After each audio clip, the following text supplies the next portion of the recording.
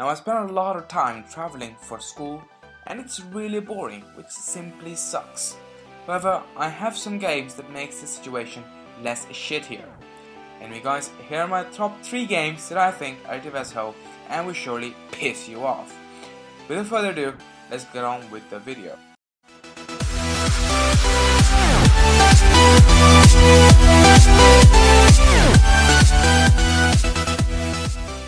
This game is something you might have heard of before.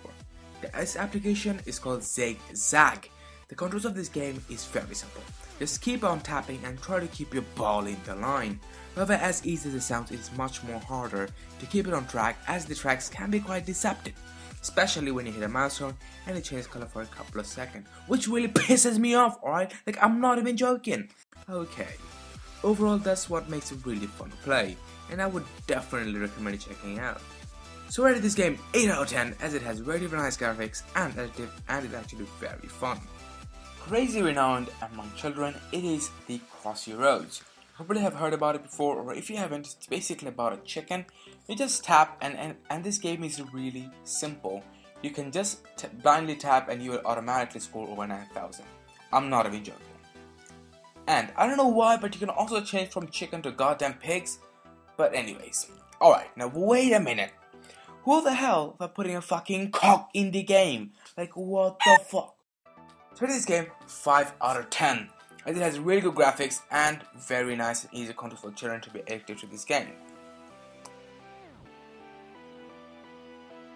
Now this game was suggested by a good friend of mine and this is called Wave and I found this game quite good as it has good graphics and can be quite fun to play.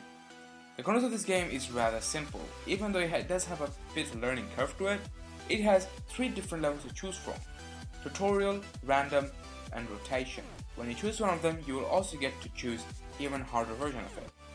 But however, there is no doubt that this game is simply made by a crackhead. I mean seriously. The controls of this game will surely remind you of Geometry Dash.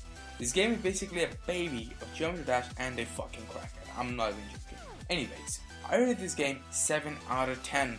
Good graphics, good music, and good controls.